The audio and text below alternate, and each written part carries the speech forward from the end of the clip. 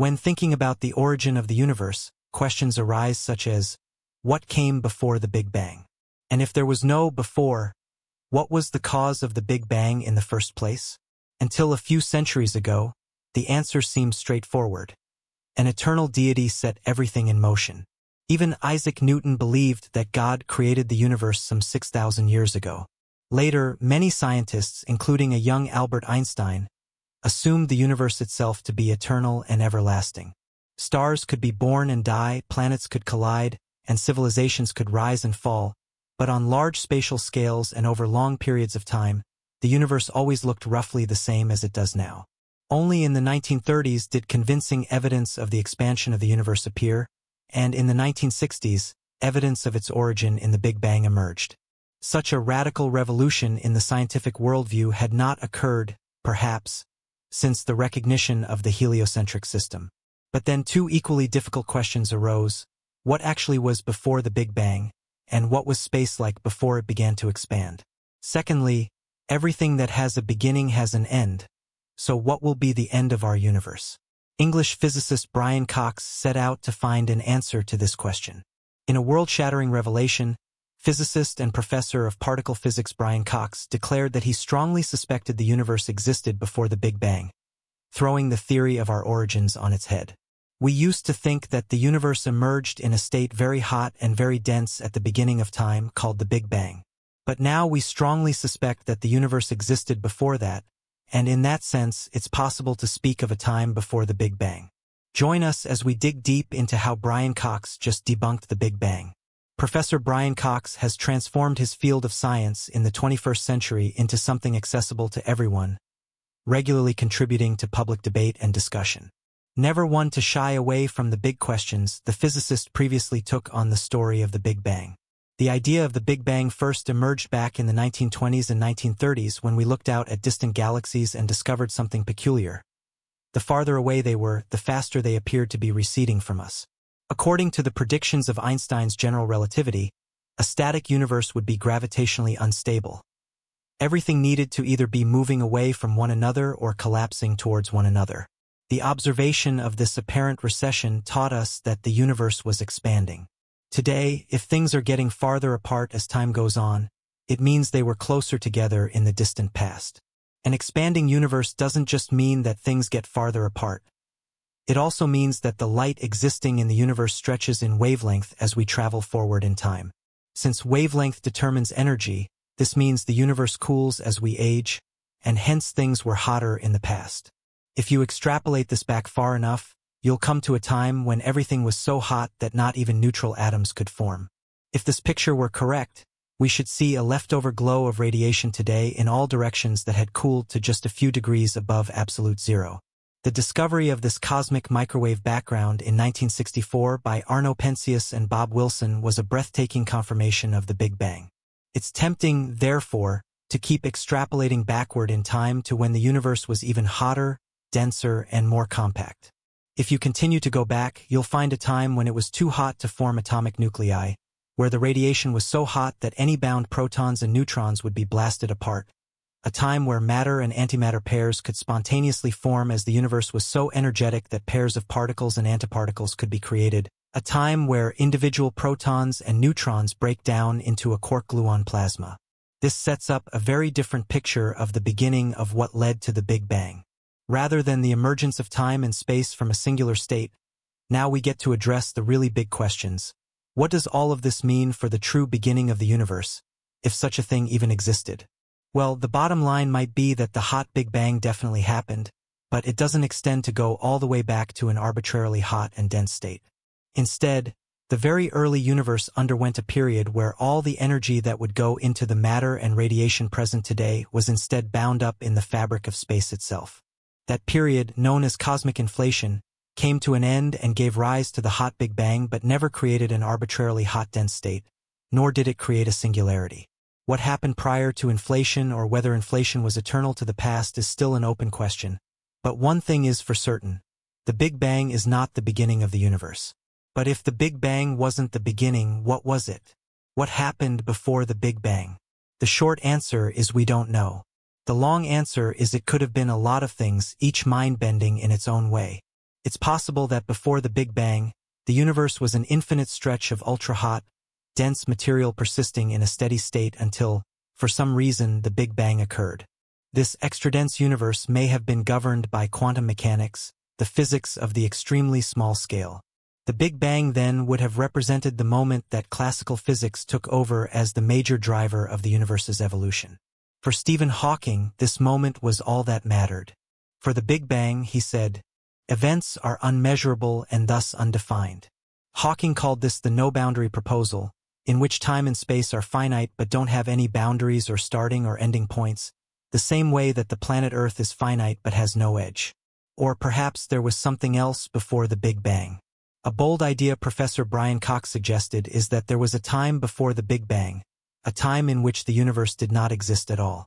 He explored this in his documentary series Universe, stating that before the launch point of the Big Bang, there was no matter at all. All that existed was spacetime and an ocean of energy, almost still but gently rippling. This place, he said, should be imagined as a near ocean of energy filling the void. It would have had no structures, and the energy in the space would have caused it to stretch violently, something known in space as inflation. Flipping the Bible creation story on its head, Brian Cox proceeded to explain the science creation story. The crux of the story is an unimaginably violent expansion known as inflation. He said that, in the beginning, there was an ocean of energy that drove a rapid expansion of space known as inflation. There were ripples in the ocean, and as inflation ended, the ocean of energy was converted into matter by the Big Bang, and the pattern of the ripples was imprinted into our universe as regions of slight different density in the hydrogen and helium gas that formed shortly after the Big Bang. The denser regions of gas collapsed to form the first stars and the first galaxies, and nine billion years later, a new star formed in the Milky Way, the Sun. The star was joined by eight planets, including Earth, and nearly 13.8 billion years after it all began, we emerged, blinking into the light. Notably, Brian Cox is not the only one to make such an argument about the beginning of the universe. Remarkable theoretical physics research has revealed a possible window into the very early universe, showing that it may be just the latest iteration of a bang-bounce cycle that has been going on for well, at least once and possibly forever. According to the study, the physics that we need to understand the early universe, a wonderfully complicated mishmash of general relativity and high-energy particle physics, can take us only so far before breaking down as we try to push deeper into the first moments of our cosmos. The math gets harder and harder to solve all the way to the point where it just quits. The main sign that we have terrain yet to be explored is the presence of a singularity, or a point of infinite density at the beginning of the Big Bang. Taking it at face value, this tells us that at one point, the universe was crammed into an infinitely tiny, infinitely dense point. This is obviously absurd, and what it really tells us is that we need new physics to solve this problem. Our current toolkit just isn't good enough to save the day. We need some new physics, something that is capable of handling gravity and the other forces combined at ultra-high energies, and that's exactly what string theory claims to be. If a model of physics that is capable of handling gravity and the other forces combined at ultra-high energies exists, string theory claims it can explain the earliest moments of the universe. One of the earliest string theory notions is the ekpyrotic universe, which comes from the Greek word for conflagration or fire. In this scenario, what we know as the Big Bang was sparked by something else happening before it. The Big Bang was not a beginning but one part of a larger process. Extending the ekpyrotic concept has led to a theory, again motivated by string theory, called cyclic cosmology. Technically, the idea of the universe continually repeating itself is thousands of years old and predates physics, but string theory gave the idea firm mathematical grounding. The cyclic universe goes about exactly as you might imagine, continually bouncing between big bangs and big crunches, potentially for eternity, back in time and for eternity into the future. As cool as this sounds, early versions of the cyclic model had difficulty matching observations, which is a major deal when you're trying to do science and not just tell stories around the campfire. The main hurdle was agreeing with our observations of the cosmic microwave background, the fossil light leftover from when the universe was only 380,000 years old.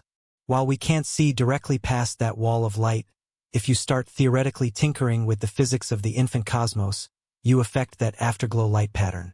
So it seemed that a cyclic universe was a neat but incorrect idea. But the ekpyrotic torch has been kept lit over the years, and in recent years many physicists have explored the wrinkles in the mathematics and uncovered some previously missed opportunities. These scientists studied the theory of the Big Bounce, suggesting the universe is expanding and contracting, swinging back and forth in a massively big-picture timeline. Some bouncers believe this happened just once, while others believe cyclical bouncing is what makes our universe. And while the Big Bounce still requires large leaps that must be explained with generous scientific hand-waving, proponents say it's a lot less so than with a model of the Big Bang they say is fatally flawed. The Big Bang, as told, relies on an idea called inflation. The field of cosmology, especially concerning the rapid expansion after the Big Bang, involves some grand and imaginative concepts. Critics of inflation theory argue it's overly neat, possibly contrived. However, inflation suggests an infinite number of universes, with our observable universe being one isolated bubble among many. This challenges the idea of a singular beginning and prompts questions about what might lie beyond our own bubble. Alternatively, proponents of the Big Bounce theory suggest a cyclical universe, potentially offering a more comprehensive explanation without the need for a multiverse. This theory proposes that before the Big Bang, there existed another universe with entropy increasing towards the past, suggesting time could run opposite to our universe. This anti-universe concept could explain dark matter as a form of ghostly particle called a neutrino, unique to its own universe. Moreover, extending the concept of mirror symmetry to the entire universe implies the existence of a mirror image cosmos where every aspect of our universe changes in parity and time is reversed. This twin universe, operating under the same fundamental symmetries, could account for phenomena like dark matter and the expansion of the universe without the need for inflationary periods. These ideas challenge traditional views of cosmology and suggest there is still much to explore and understand about the nature of our universe. The concept of a mirror universe suggests it exists beyond our Big Bang, potentially before the beginning of our observable cosmos. Researchers propose several observable consequences, Neutrinos should exhibit major anomalies, meaning they are their own antiparticles. One neutrino species should be massless, a significant testable prediction in this model. Inflation never occurred, as the universe naturally filled with particles. The absence of primordial gravitational waves, if confirmed by experiments, could support this model. Understanding the origin of the universe pushes the limits of our knowledge. We cannot know the initial state of the universe with certainty, which prevents us from achieving a complete theory of everything. Scientific progress has revealed a detailed cosmic history, but gaps remain, such as the nature of dark matter and dark energy. The question of the first cause remains open.